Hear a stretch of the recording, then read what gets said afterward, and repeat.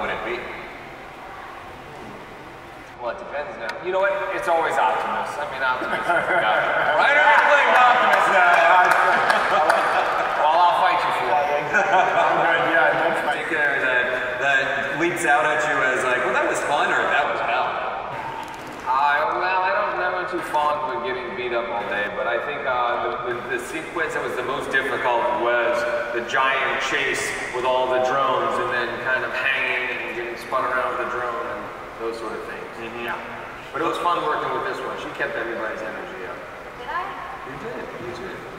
You were very enthusiastic. It was it was the the aqua The aqua the aqua right? promo. Well, and I want to get I want to get your input, all of you guys. But um, you know, as your second second time out in the, uh, the Transformers franchise, what what do you think sets the last uh, Last Knight apart from the other Transformers? Well, you know, it's interesting because it really kind of wanted to explore the mythology, you know, and, uh, you know, adding, you know, very exciting new cast members, uh, Isabela, Anthony, uh, Gerard. It really, you know, it was interesting, and Laura, you know, kind of putting, you know, me with the fish out of water story being, uh, you know, thrust into this world with all these kind of uptight English people. It made for a lot of great humor. But I think uh, the most interesting thing was, was the mythology and then introducing all the new characters and getting to understand the, the, you know, the origin story of how the Transformers came here.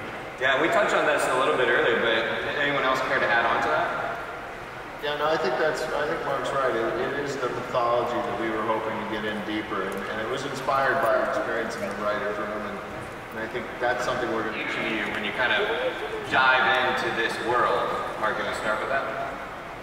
Can you uh, repeat the question? I was admiring her long hair. She cut all her hair off. I had a conversation. Repeat Oh, sorry. oh no, just like that these are films that pretty much everyone in the family can enjoy.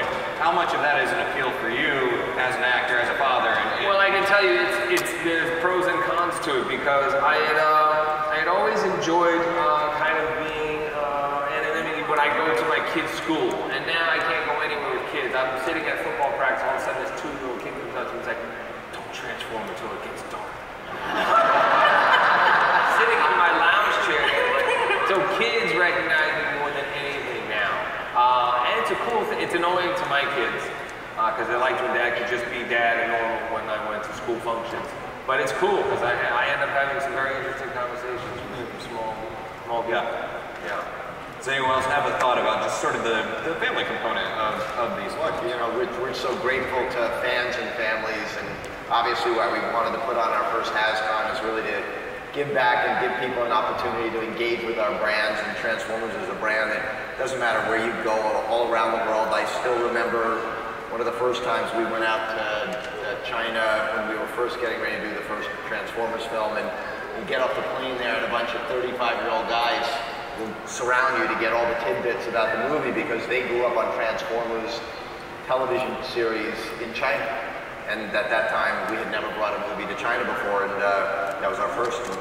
You know, so it's just so heartening to me to see how all around the world people love the characters and the story, and we want to give to fans and families, you know, different ways to enjoy the brands. For the little kids, Rescue Bots are probably Yeah. you know, more appropriate, and then for in the main line, some of the robots in the sky stuff.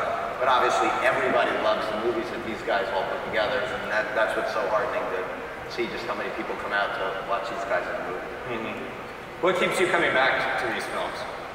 You know, it was interesting for me the first time around. I would work with Michael Bay on a movie called Pain and we had a blast, and I really enjoy the way he makes films.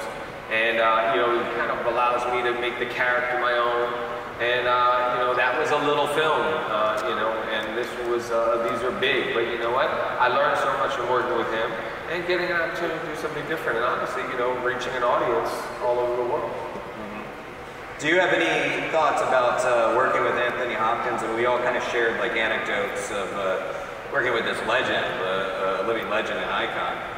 He's just such a sweet, approachable guy. You know, he was really, I, you talk about, she had a lot of enthusiasm. I promise you he had more. He was more excited. He always had this giant grin on his face. Uh, it was really a pleasure to see, and to see somebody his age be as sharp and as prepared as he was. Uh, it was very impressive all around. But uh, the, the nicest thing about him is just how sweet and down to earth. Yeah.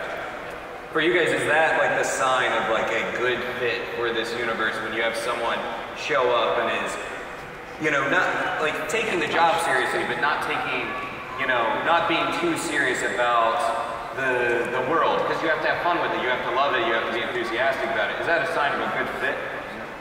For sure, you know, and I, Michael Light is a funny guy, and he likes comedy as well, and so you have to have that side of you, I think, to do well in one of these movies, and, and we all feed on it.